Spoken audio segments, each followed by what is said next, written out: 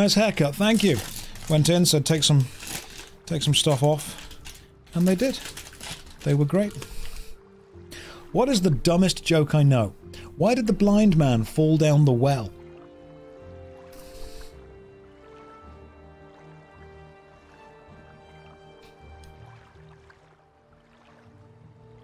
Because he couldn't see that well.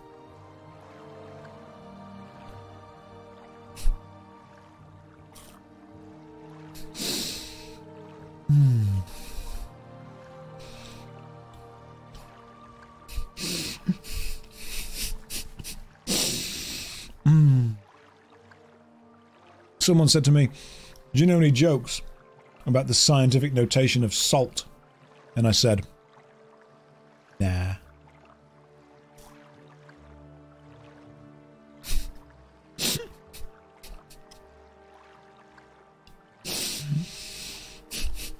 Josh, stop.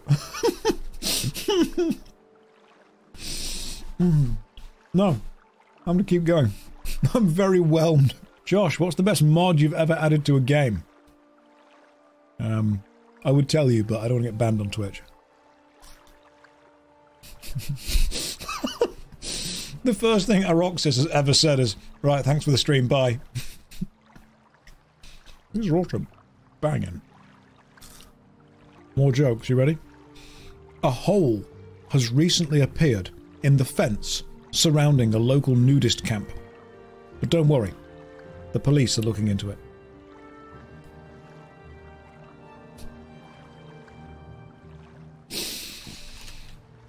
Hmm. Oh man. Now we're streaming, so we know Josh enjoys... You know, I've never actually modded any of my games to have any kind of boob stuff in them. I genuinely haven't. Sorry, it's protein bar time. I'm not eating crispy crisps, because, like, I suppose all crisps are crispy by virtue of being crisps, but what I mean is crunchy crisps, because some people didn't like that last time. As crispy, I'm going to stop talking while I eat. You know what I meant?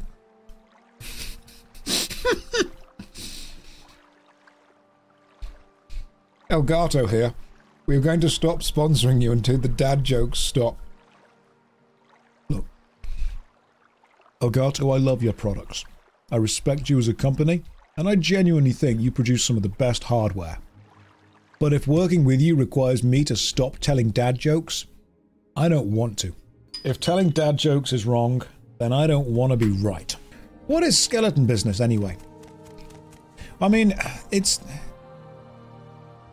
It's almost a shame that the skeleton was standing here by himself alone, because he's just got no body.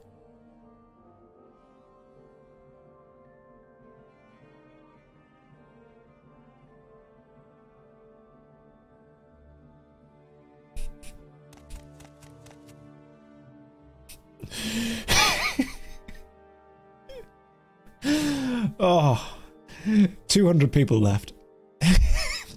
Worth it.